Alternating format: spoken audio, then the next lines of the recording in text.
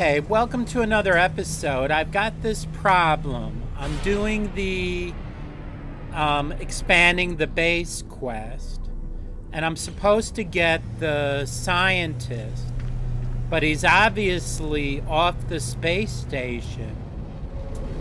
The problem is he's on the space station, and apparently, if you go a certain distance, it puts it out just outside the space station in outer space.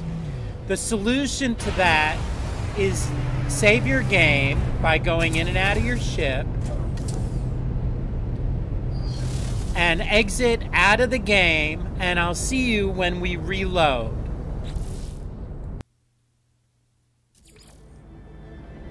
Okay, now notice it is switched after reloading to being in the correct spot on the space station.